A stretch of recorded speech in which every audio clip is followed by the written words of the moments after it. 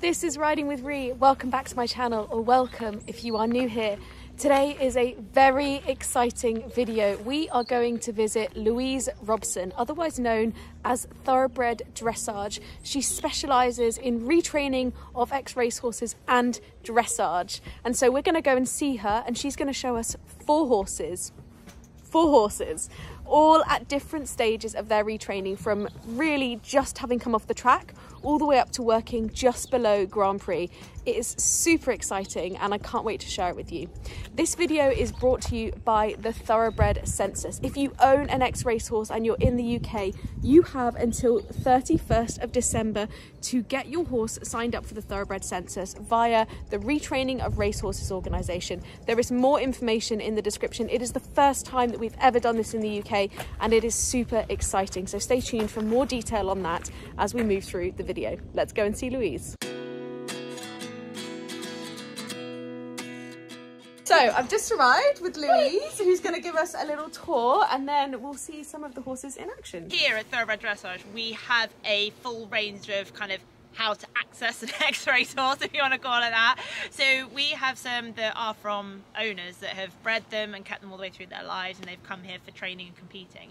We have some that when they've left racing, they've been bought by owners and they've arrived here for training at different levels along their journey. Some at the very beginning, some for kind of training concerns, whether it's like they can't do trot canter very well or the rider doesn't feel safe when cantering. So that's another avenue of kind of private purchase, either from the trainer or from someone that has bought them out of racing and then you've purchased from them.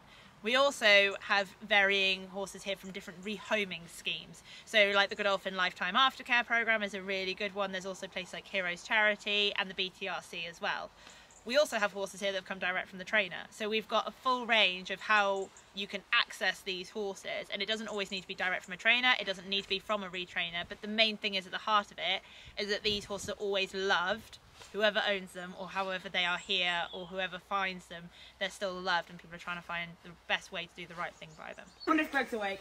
We can start. Greg! Greg, You're gonna come and say hi? Because no, we're going to be hi! Oh! So Greg is from Godolphin Rehoming. Oh. He is, um, he recently just won the ROR National Championships medium level. Wow. He won well, not about 95,000, 93, 95,000 on the track. He was a flat, ra flat racer and yeah, he's working at medium level at the minute. He just always looks exhausted when he comes in. He spends all night partying. And then uh, we've got mixtures. We've got a mixture of warm blood, breakfast horses, retraining and race horses. So Amelia the dog it's like my pride and joy. She's like the main asset of the yard. So she has her tent. Um, so we have horses like Aussie. Aussie's actually a really good one because he never actually raced. He um, dumped quite a few uh, work riders down in Lambourn, um, and he kind of basically wouldn't work kind of properly without trying to deck jockeys. Oh, wow. So, um, so he never actually made it up to a racetrack, but he is in for, in theory, retraining, but training to see what he wants to do with his owner. His owner's like really lovely, um, and so he's been here since July, August. We then have para horses. So part of the job is para ponies as well. So we have international para horses. So Shrek's Fantastic. travelled the world. Ms. Pearl, she's an international para horse. Kevin, Warm Blood, he has won me regional dressage titles. He's won me national dressage championship too. He has been a he was longlisted for Tokyo as a para horse. Wow. So basically, this is mainly Warmbloods out here, Okay. apart from Aussie Um. and uh, Greg. Um, this is Flubber. She is also uh, Danish. She is also a para horse as well. She's currently having her snacks. Most of the horses, well, all the horses at the minute are out overnight in during the day. Um, we've got, we're very fortunate. We've got about 40 acres down there for them. Really, really lovely. So they can be out all the time, like overnight, and they come up during the day because. Lovely. And then obviously we switch around when the weather turns, um, but that's why they're all half asleep, muddy, content. Um, and then we've got the barn where we've got this side again, we've still got a bit of a mixture. So we've got Pip, who's called Tower of Allen. He's an ex-racehorse. He finished racing when he was 11. Um, he came in for training. Hi. and he's uh, basically in for poor performance, um, and he's now going really, really well, and his owner's very, very, very happy with him. So, when you say poor performance, is that after racing and owners having trouble or during racing? So he was after racing, so Mm-hmm. his owner was always struggling a bit with his spookiness and his if you want to call it rideability, it wasn't that he was unrideable. It was just that when he was being ridden, he was spooky and it made those riders quite nervous, which is like really common, um, and especially when you're on your own and in livery, which is really difficult. Yeah. So he came here. She went on holiday and she said, "Look, can you have him for two weeks training?" And then that, like literally within the first couple of days of me riding him, I realised he couldn't turn very easily and he would jump up and down. And he mm. never threw me off, but he was just saying he couldn't do it. So it kind of then turned into what you might call poor performance, as and there's something going on with this horse. He's not being mean, but he's something's wrong, something's Yeah. not right. And so we went kind of to we went well, went my vets, my farriers and physios, and we found what was wrong with him. And basically, he's now going amazingly, really happy, not mm. spooky. Rider's really confident with him, so he's staying for a bit longer because actually it works out really well for his owner that Yeah. she's got the support as well. Um, so yeah, so Pips, they all become part of the family here, which is like, Evidently. This is Tim. Hi, Tim. Tim is four and he is a warm blood and he is absolutely wonderful and you will lose hours of your day with Tim. So Tim and then Phoebe, they are from the same stud. Uh, Phoebe's competing medium advanced medium level. She is a warm blood as well. Prince's Trust, uh, better known as Philip. Owned by the King, bred by Queen Elizabeth II. Wow. He's training advanced level dressage. I know he looks again so difficult thing. He looks a bit draggled in the stable sometimes. Um, but so he's an interesting one. Of he's quite sharp in the head and quite quick um, in the head, which you can get with ex-racehorses. So he doesn't do a lot of competing because he's more content at home. So it's that mental side of things. Does that make sense? Of, Yes. Like, he's happier and more content being at home, and actually if I was competing a bit potentially fry him a bit more. Um, so he will come out when he's Hello. more established at the advanced level because he actually finds comfort in the more advanced work. Hello. Um, so yeah, that's Philip. And owned by the king, you said. How Um, does that King, work? He paraded in Queen's 90th birthday celebrations alongside Quadrille. Wow. Um, so he's pretty cool. Sky, she's a training livery. And then Corny here is kind of fresh out of racing. Corn. So he is actually doing the very first stages of retraining of getting on and getting him sorted. Basically all of the kind of very, very early stages of getting on, feeling safe, going around. Hi! um, and he's owned by a really lovely lady, so he's in for a couple of weeks schooling. And then the other side, we then have Matilda, who again, training livery, but she's not an ex-racehorse. the rest of these guys are ex-racehorses. So we have Bailey here, he's called actually Bailey's Accelerate. He's from Amy Murphy Racing. Hello. Uh, picked him straight up from Amy's last year. He retired due to a tendon injury, so he started history training. Started this year after having a recovery from everything. Rock on Westy, well no, Westy, we almost called him Kanye at one point, but he stuck with Westy. Um, he fractured his shoulder, raced an island, Wow. came over and we started retraining him, but actually he didn't, he couldn't stand up to the ridden work. It then started proving too many problems. So that's why he has that rug slip because he's fractured shoulder. So he's just retired now, but he's very happy again. They never leave once they arrive. Oh. Piglet, racing name showroom. Um, came in for retraining two years ago. Was meant to be here for six weeks. Stayed. Was only stayed and became part of the Oh. family. oh gosh, look at his markings. Hey, baby. Oh. uh, Chippy. What's he called? Chip. Well, he's called Chip. But the racing name is Mr. Lover. He is our oldest person. I retrained him when he was three. He's now 24. He went off to various other homes. He came back to me six years ago, well, seven years ago now, eight years ago. I bought him back for five quid, basically, returned when he was 16. Someone found me through some means and he came home, bought him back for five pounds, and he became Quaddy's field mate and best friend. So he looks after Quad for me in the field because Quad is quite like Zebedee, he bounces and does everything. So Quadrille and William, or racing name is Forthbridge, again, they are two of the King's horses, so these two plus Prince's Trust, um, bred by Queen Elizabeth II. Quad's competing at a very, very high level of dressage, and William is three years into his retraining. So the first horse that we are going to take a look at is Corny, who has just left his racing career. So Louise is going to show us what she does with those horses who are super early on in their X racing career. Hi, Corny. Hello. Hello. Like, like, It's real. It's relatable. It's so organised, disorganised chaos. The weird thing is, if you ask me to find something straight up, I'd be like, yeah, it's there. Exactly. I feel like that's the same with 95% of horse people. So just while you're getting him ready, talk to me a little bit about this horse and what you're going to plan to do today. So this horse, like, so his owner is described as the gold standard level of owner. Corny left racing, his last race, I believe, was May this year. I could have that wrong, but it, I know it was this year. And what happened, so we had during National Racehorse Week, we had a discounted scoping day. Over 90% of racehorses have some sort of like ulceration, so gastric ulcers. Mm. And so on our free scoping morning, his owner brought him along and we had him scoped and he had grade three slash four ulcers. So before, you know, that potential conversation of a naughty horse or a bad horse or this, that and the other, she actually gave him a full MOT before he even had his letdown time. So he could recover, as it were, from racing and have his letdown time in the best way possible. Well, it's an interesting way around you talk about it because I think we, we know, I think it's common knowledge if you are thinking about X races or you know about them that you let them have a bit of time off after racing.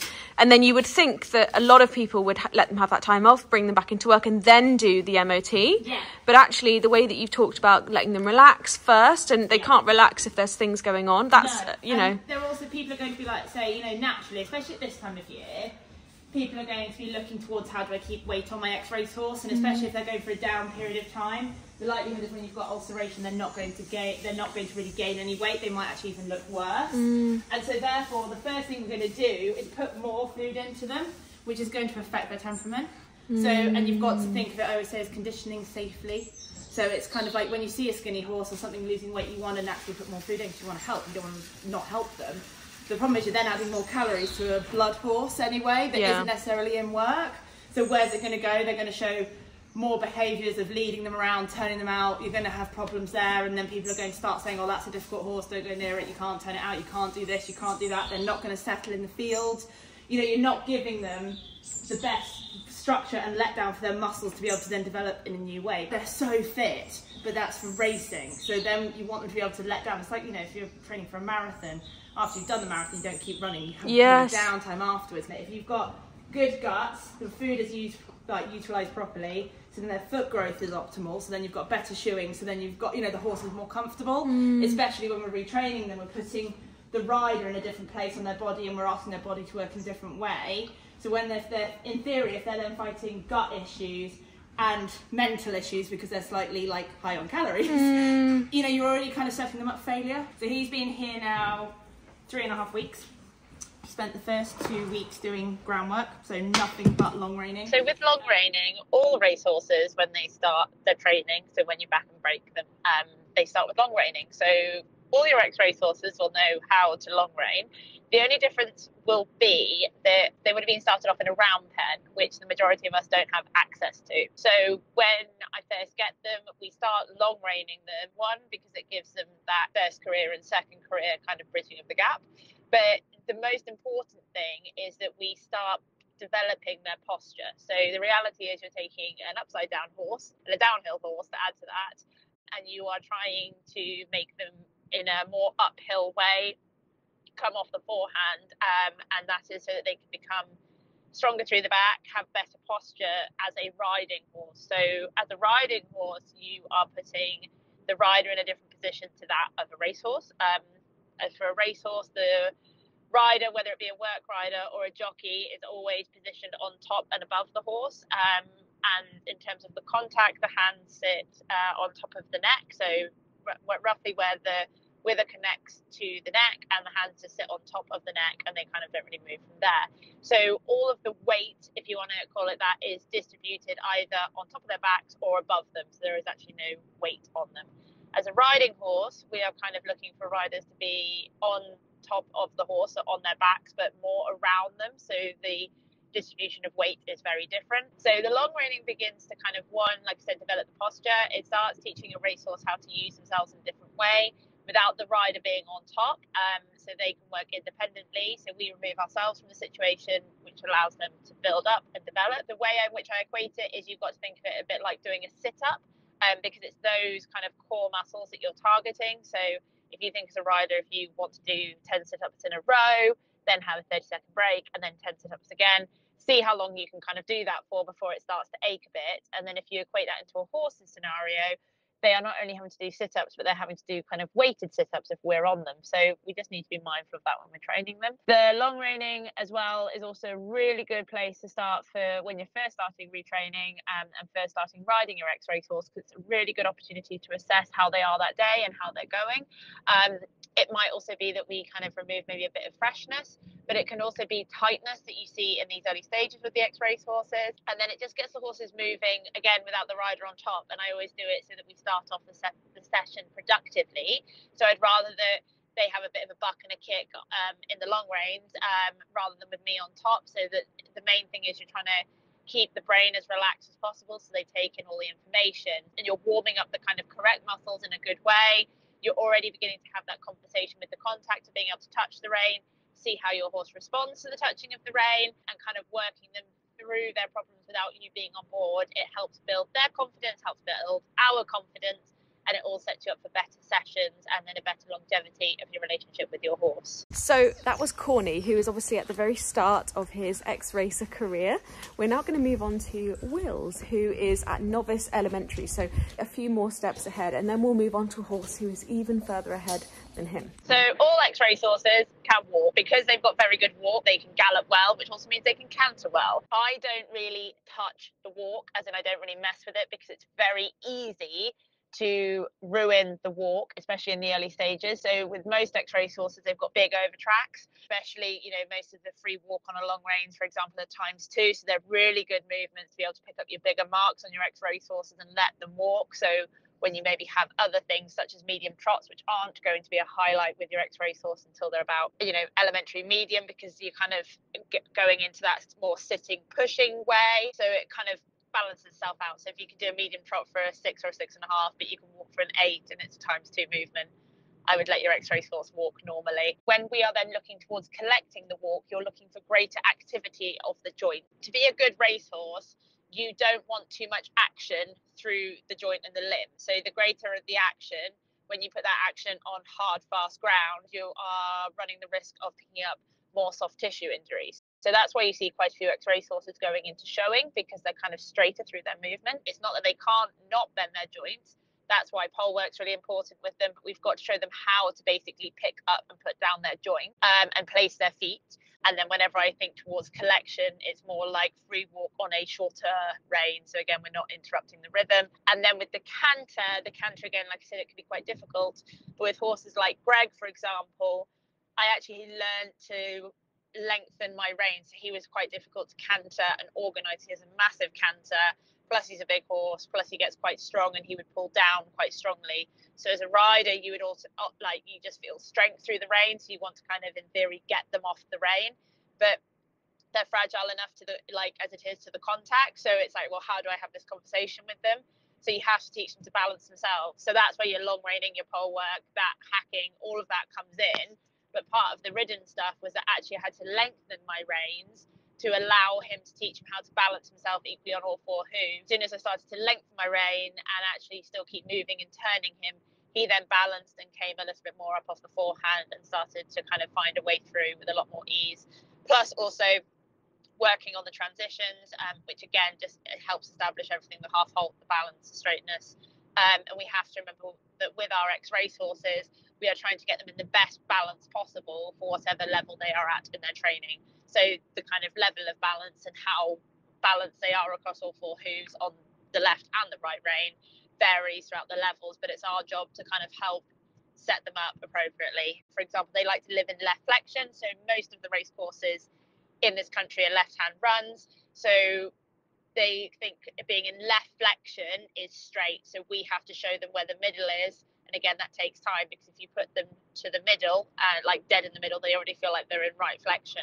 So if you then get true right flexion, they're feeling like they're six feet out to the right. So it's just time and slow little changes.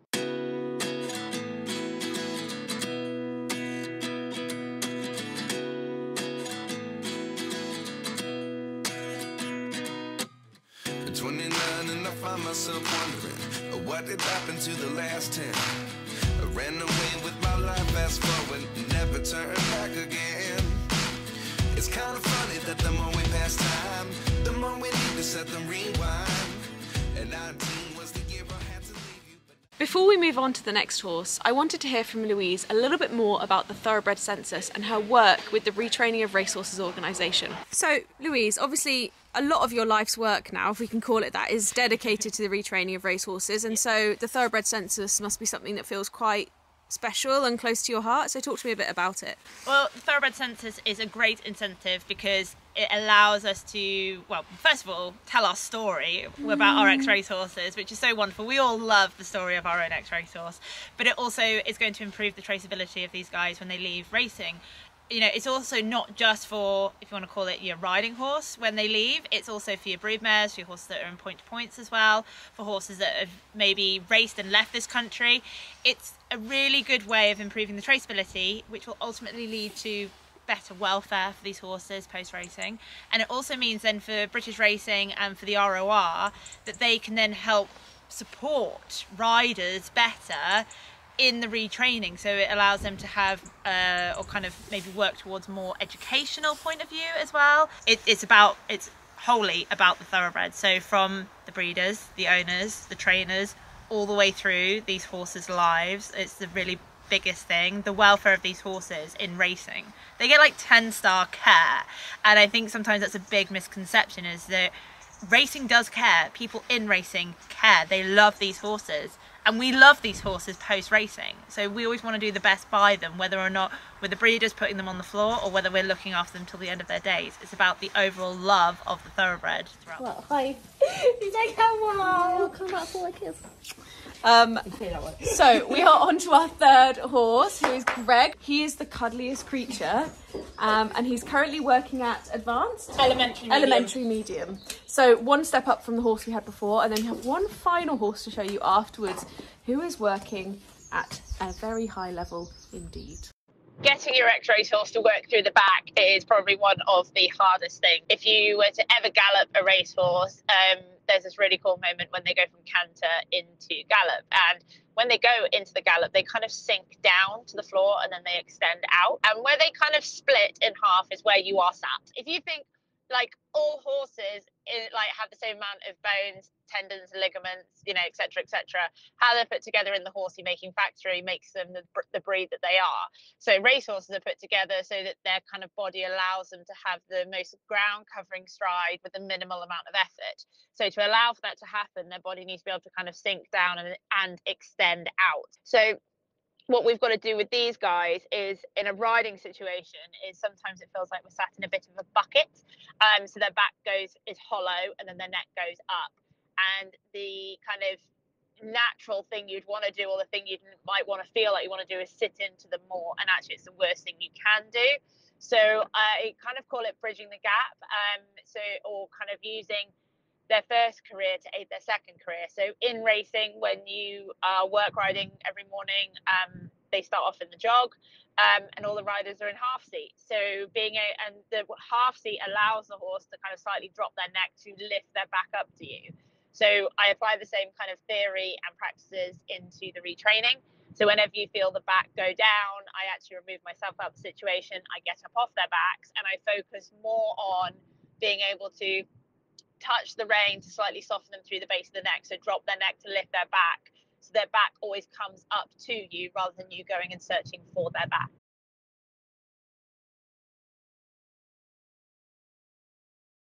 Tell us about the last horse we're going to see. Uh, so my absolute love child. Uh, so Quadrille, he was ROR Elite Dressage Champion 2019, ROR Horse of the Year 2019. He's one of the highest competing X-race horses in the country and in the entire world, which is kind of daunting. Wow. Owned by the king, just to add in that fact. Casual. what a one to end on. he is everything. Hey. Do you find it hard with the racehorses who haven't had turnout? How do you help them transition to? So some of them, like, there's the ideal is that we want them to let down and have a bit of a holiday if they've come straight from a trainer. Like, so we've got quite a few. So Bailey came straight from a trainer. Um, we have some horses like Corny that's already done the turnout bit and has already mm. kind of got into that way of life.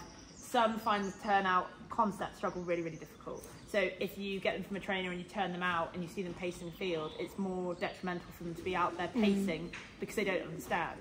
So some, when they leave the trainer, almost need to be ridden away or worked away. So it might be mm. that you only work them a couple of times a week, even if it's just long reining them somewhere, but they're mentally still in that work mode, so they've done something. And then actually you find that they settle more in the field. But what we try and do is if we've got ones that really don't understand, we might turn them out in the arena together with another horse to get used to being in close proximity to another horse and start off with five minutes and take them out before they stress. Yeah. So it's about getting them before they start panicking, if that makes sense. Yeah, yeah. And then when they then progress to the field, hopefully they found a friend that they've buddied up with in the arena. Um, and then trying to get them in before they get worried. So again, start off with half an hour, build from there. And normally we'll do it whereby we've worked them and then turn them out so they're a bit quieter in the brain and the body, and they want to settle a bit more rather than just be like, Off you go. Yeah. Mm. see you later. Um, but it can be a real challenge for people. It's a real challenge. Um, we do have a few that come to the worst weather in the winter. Prince's Trust Philip walks to the end of the barn, sees the rain. He won't go out. He won't leave. He will categorically not leave the barn. He's like, no. And like Quad needs to be out because he's a bit of a sprightly soul. But bad weather, he just he's straight at the gate and he's like, Princess time, get me in. And again, you would be like, well, the horses need to be out and moving as much as possible. That's fine. But also when it's to their detriment, they're just stood there. It's like actually better for them to be in and eating and calm and Yeah, happy. yeah. And you do end up, you know, that's the difficult side to it. You want the ideal, but what the horse wants is Mm. working with them a bit more. Uh, so I think it's really important to note the timeline of these horses. The hardest bit with retraining sometimes is keeping the brain occupied whilst the body catches up, um, which can be quite difficult because, in all honesty, you know, the first two, three years, you're really just teaching them walk, trot, canter, in and outline, changing the rein, transitions. Now, it might be quite daunting that I've just said years, but that's where you've got to get inventive of one never you know mine only really go in the arena twice a week under saddle. The rest of the time they're in the long reins and they're out hacking and they're doing pole work. So it's really difficult especially sometimes with social media especially with like you know transformational tuesdays is kind of to see someone doing it in six weeks or six months you know and you might feel like actually i'm on year four and i've barely got out of trot. Our journeys are our own journeys with our ex-race horse and we've always got to be their biggest cheerleaders and we've always got to kind of support them on their journey. You know, yes, support others, be really happy for others, but try not to compare because it can end up putting additional pressures on you and your ex racehorse, and you're meant to love and enjoy them and really enjoy the retraining process and celebrate them for who they are. And like on that kind of comparisonitis thing, if we're doing a dressage kind of focus, if you go to your first competition or you're competing and then you feel it's slightly, you know, let's say unfair when you see warm bloods going around, you know, the breeding with uh, warm bloods is better than ever and the horses are amazing in the way they move. But if you keep comparing your ex racehorse to a warm blood, I don't think that's really fair on your ex racehorse because the reality is you've got this horse that's in a second career. The body is not built to do the job you know that they are doing for you and they are trying really hard to do that job. So you have to be your ex racehorse's biggest cheerleader and be able to look after them and know sometimes when you might need to try a different way of approaching something. You've got to love them for who they are. Uh, like train the horse you have not the horse you want. So when you get your ex racehorse don't train them like a dressage horse. Look at them see how they're put together and train them and their conformation and understand their first career to age of second career rather than kind of getting on them and say right now you'll be a dressage horse and i will ride you like this. Be very mindful and get as much education as you can about how they've been looked after in racing how they've been ridden different types of tack what's worked what hasn't. Look at racing photos to see maybe what nose bands and bits they ran in to kind of keep them as happy as possible and see how you can put that into their second career and then you'll have a fantastic relationship with your ex racehorse. Well, that is it from me and Louise today. I hope that you have left a feeling that you have a little more information, feeling inspired, particularly if you are an ex racehorse owner or soon to be ex racehorse owner. And a reminder that if you do currently own an ex racehorse, you have until the 31st of December 2023 to sign up for the Thoroughbred Census. It is the first in the UK, it's super exciting, and it's incredibly important for tracking the welfare of the horses that leave racing. So do sign up, all of the details are in the description for you. See you soon.